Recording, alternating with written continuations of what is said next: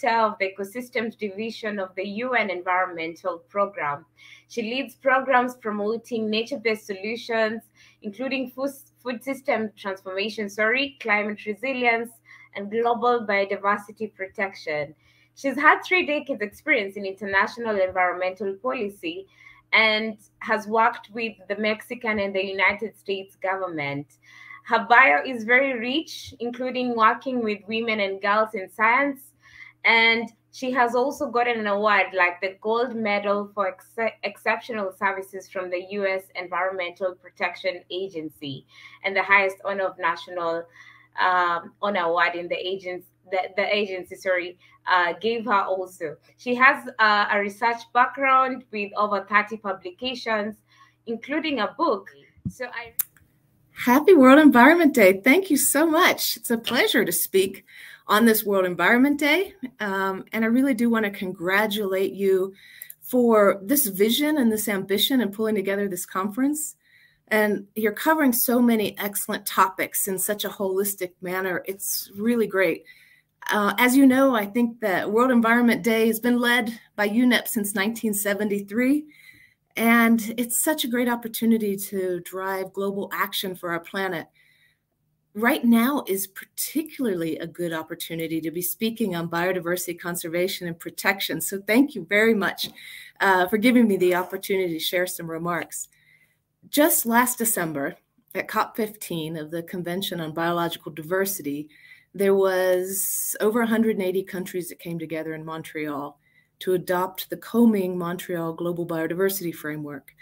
And this was such a major milestone in the international efforts to halt and reverse the loss of biodiversity. So, what I'd like to do for the time that I have with my remarks is to start by talking about why we should all care about global biodiversity and framework, because right now the stakes could not be higher. Now, I'm not sure if you have my slides or not. I'm going to pause here for a second. Okay, if you give me one second, I'm going to need to share my slides. Okay, can you see my screen?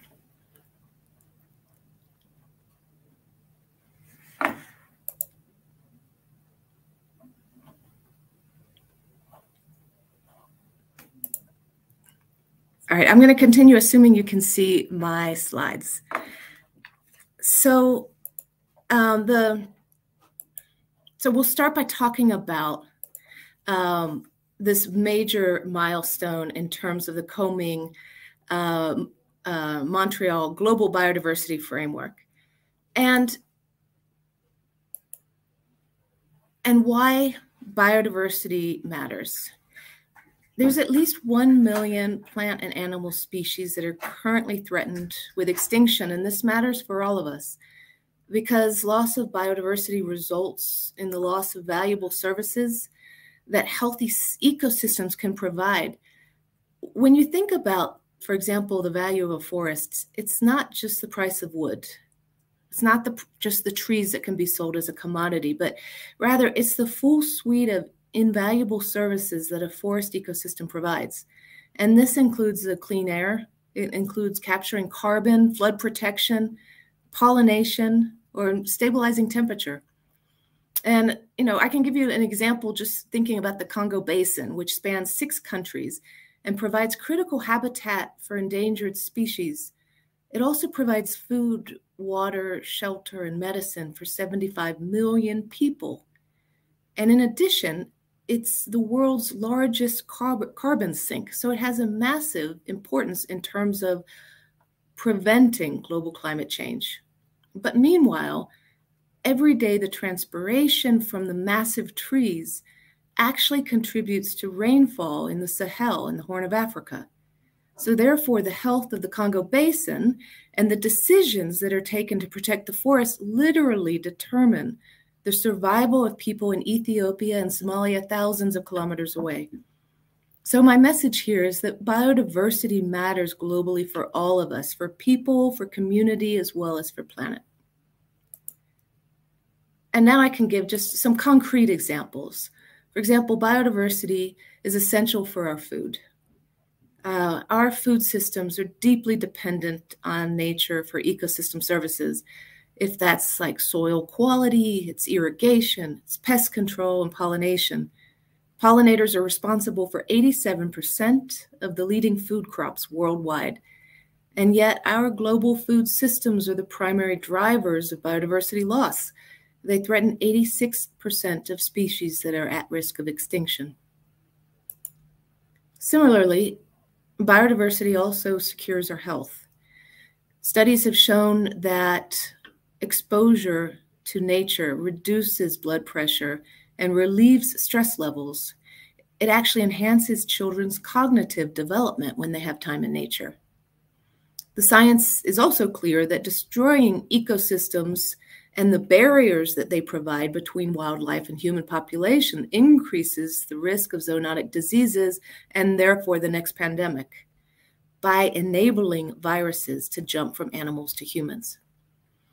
Um, another example is that there's an estimated 4 billion people, which is half the global population, that rely on natural medicines as part of their primary source of healthcare. So, biodiversity is essential for health and it's essentially the foundation of our economies. More than half of the global GDP is either moderately or highly dependent on nature and its services. And more than 70% of people who live in poverty are dependent on nature for their livelihoods. This includes things like agriculture, fisheries, and timber. There's a growing awareness of these links more and more. The World Economic Forum's Global Risk Report tracks the perception among risk experts and various world business leaders who just last year said that biodiversity loss ranks among the top three global risks to society, along with extreme weather events and failing to act on climate. So, now that we've talked about why biodiversity is important, let's talk a little bit about the key drivers of biodiversity loss. According to the International Panel on Biodiversity and Ecosystem Services, the direct drivers of biodiversity loss with the largest global impact are these on the slides. It's changes in land and sea use. So that, for example, is deforestation for livestock or grazing, um, or destroying coral reefs for aquaculture. It's the direct exploitation of organisms when the harvest rate is more than what nature is able to regenerate, then we see the overexploitation. So, for example, overfishing or trafficking of endangered wildlife. Um, it's climate change and pollution. Now, ecosystems have an extraordinary capability of being able to absorb our excess nutrients as well as our excess carbon. But these processes are overwhelmed when we use nature as our dumping ground for toxic emissions or massive amounts of plastic pollution. And finally, invasive species, especially species that once they're introduced to an area, they're able to outcompete or become predators of native species. These drivers are all exacerbated by the underlying human behaviors and consumption patterns our chainsaws, our nets, our plows that destroy ecosystems and biodiversity are powered by our diets, our consumption and production patterns, our financial systems, our, our systemic inequities. And biodiversity can only be conserved and sustainably used and restored by addressing these underlying drivers. So let's go back to today and the theme of this year's World Environment Day on beat plastic pollution, because it's a real reminder that people's action matters. Now, the Global Biodiversity Framework Target 7 includes reducing negative impacts of pollution, including working towards eliminating plastic pollution. Currently, there's an estimated 11 million tons of plastic waste that flow into the ocean every year. Today, almost half the groups, almost every species actually, uh, or species group in the ocean encounters plastic pollution at some point. Half of the world's endangered sea turtles have ingested plastic because they mistake it for food. 90% of sea turtles have been reported to have plastics in their stomach. So, to truly beat plastic pollution, we need transformational change. And that means we need whole of government and whole of society approaches. And the Global Biodiversity Framework is the roadmap to achieve this. It recognizes that to address the drivers of biodiversity loss, we need to accelerate action across sectors and across society. This decision, this global biodiversity framework decision, established this roadmap to ensure that biodiversity is valued, conserved, and restored, and wisely used by 2050. It lays out 23 action oriented targets describing what we need to do this decade before 2030 in order to be able to achieve this vision. And these include 30% conservation of land and sea, 30% restoration of degraded ecosystems, reducing by half the introduction of invasive species, of nutrient pollution, of pesticide and hazardous chemicals, and reducing harmful subsidies by at least $500 billion a year, which can then be invested instead to scale up positive incentives that actually protect biodiversity. Now, yes, this is a lot. There's a lot of work to be done. So now we all need to roll up our sleeves. There's many things we know we need to do, but what I'd like to do is highlight five key issues. Starting with the Global Biodiversity Framework Target 10 calls to ensure that areas under agriculture, aquaculture, and fisheries are managed sustainably. And to do this, we need a food system transformation. Food production is responsible for about 60% of the global biodiversity loss. So we need to start farming in more nature friendly, biodiversity supportive ways.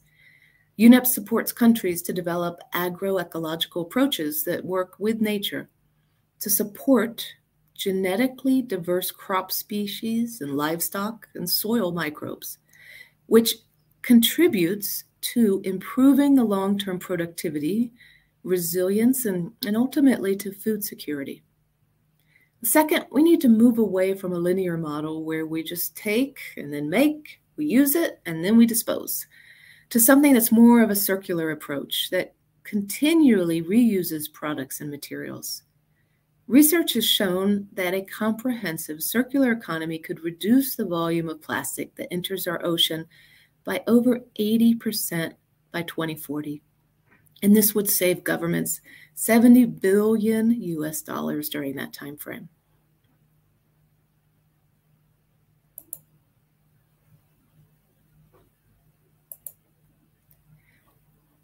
We also need, on the third, is to mass to see massive shifts in financing.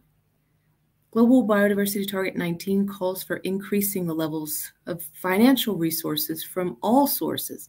So it's domestic, international, public, private, all resources, to be able to mobilize at least 200 billion per year by 2030.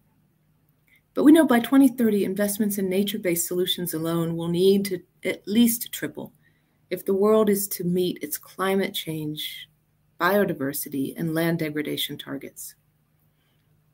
And number four, we need to promote quality as well as quantity in our conservation efforts. And this can only be done when everyone can participate and everyone has ownership. And GBF Target 13 envisions that by 2030, we will have ensured the fair and equitable sharing of benefits that arise from the use of genetic resources and traditional knowledge. Target 2022 actually calls for inclusive and gender responsive participation in decision making. So, this means ensuring gender equal rights and access to land and natural resources it's full protection of environmental human rights defenders. It's safeguarding and empowering the leadership of Indigenous peoples and local communities in order to incorporate the traditional knowledge that has been distilled over millennia through their direct connection with nature. And the fifth area, we need to not only conserve and sustainably manage what we have, but also restore what we've lost. The UN Decade on Ecosystem Restoration is a true call to action. This has been led by UNEP and FAO. This decade aims to prevent, halt, and reverse degradation of ecosystems on every continent and in every ocean. Because we know that restoration works. For example, one of the 10 UN Decade flagships is an initiative that's rejuvenating and protecting part of the Ganges Basin by removing plastic pollution, returning vegetation, promoting sustainable farming. And it's already seen 1,500 kilometers of river restored. It's reviving wildlife species, including things like river dolphin, soft-shelled turtles, otters, others. It's real proof that we can heal our relationship with nature. And there's so many other great examples from around the world. If we invest in nature-based solutions, that's our forests, our grasslands, include mangroves, estuaries, seagrasses, and coral reefs. When we protect their ability to retain nature's biodiversity, then in turn, they actually protect and provide for us and our communities. So, in conclusion, these next seven years represent an unparalleled opportunity to advance biodiversity conservation. It's really critical that we get this right. It depends on each and every one of us. GBF Target 16 calls for improving education and access to information so that people are able to make sustainable consumption choices, so that we can all choose what industries do you want to support based on the environmental future that you want? We can choose how we consume and throw away. And for those who live in areas with food security, must make sustainable dietary choices, including demanding sustainable food packaging. We together can raise our voices for others to join in making a real impact. We can do this because we have to. The future of humanity depends on our collective efforts, and we all have a role to play. Thank you.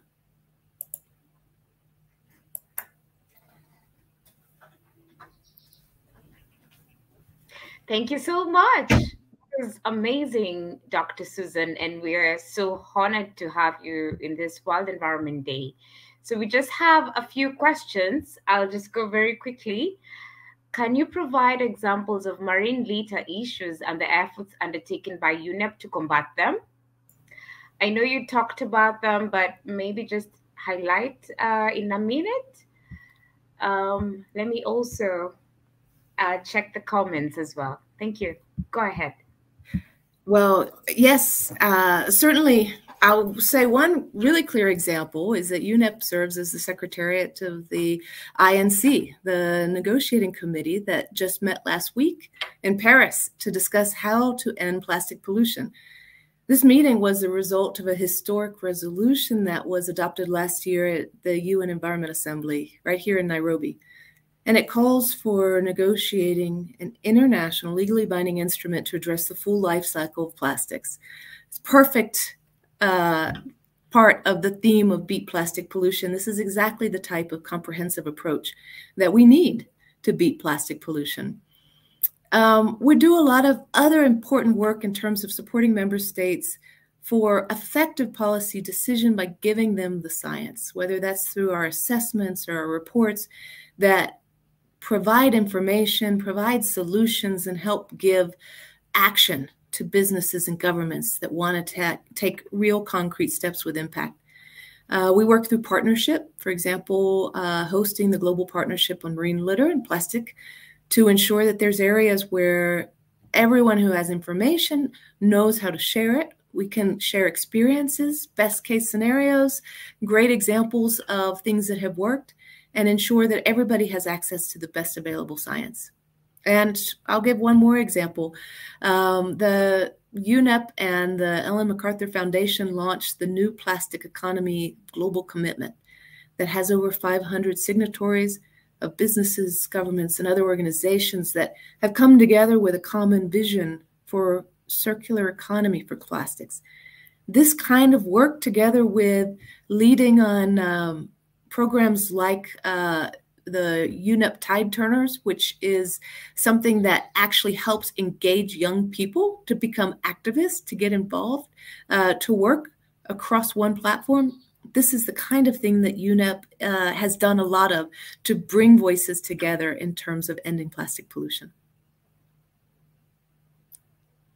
Wow, thank you so much for those tips. I have the second question, which is as a parting message, what would you like to convey to the world regarding the importance of environmental sustainability and fighting plastic pollution? Well, I'm glad to be able to have the opportunity to leave sort of an overarching message. And this year's theme of plastic pollution, it really does remind us that we all have a role to play.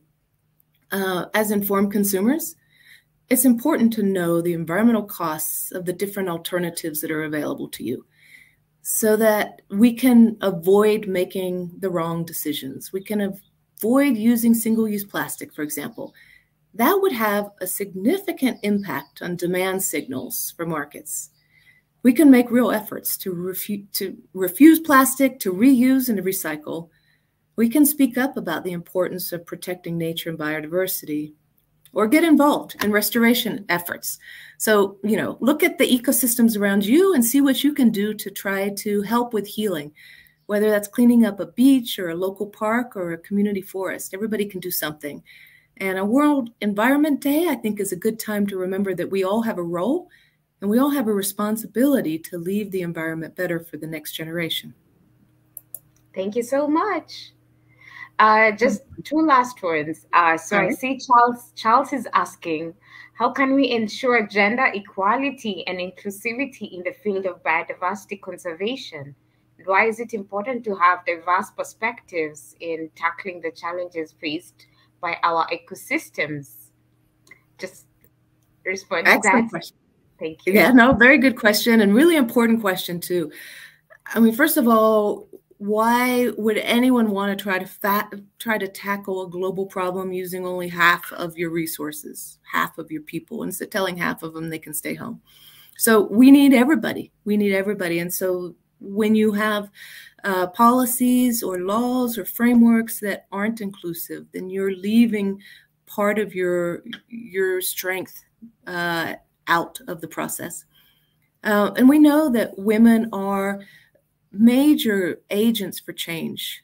They are essential for a lot of our food production, whether that's fisheries or agriculture.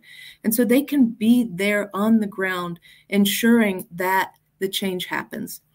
And in too many places where women don't have access to uh, be empowered stewards of the environment, either through lack of uh, rights and ownership of land or opportunities to engage, then you lose their voices and you lose their power and you lose the ability to have the best solutions actually taking hold. So it's a fantastic question and enormously important. It's it's clearly articulated as one of the targets in the global biodiversity framework as something that's essential uh, for ensuring that we have uh, that we meet our uh, full vision for global biodiversity. Oh, thank you so much for the answer. And lastly, um, what does officially green mean to you? Um, this is the theme of uh, uh, the Green Institute, and maybe you could uh, say something as a parting shot. Thank you so much. Well, thank you. It's it's important to think about for all of us what does officially green mean to all of us. To me, it's about understanding your environmental footprint it's about recognizing the impact of your personal existence, my personal existence in the world, my behavior, the choices that each one of us make when we have options. And it's about the efforts that we make to leave the planet better for the next generation.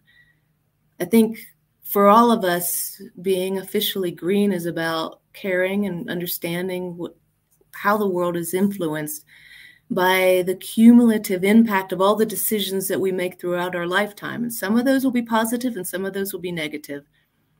There's an African proverb that says that the earth is a treasure that we hold in trust for the next generation and future generations after that. So to me, being officially green means authentically caring about whether your actions have a net positive or negative effect on the world that we leave behind for generations. And thank you for the opportunity to share these reflections.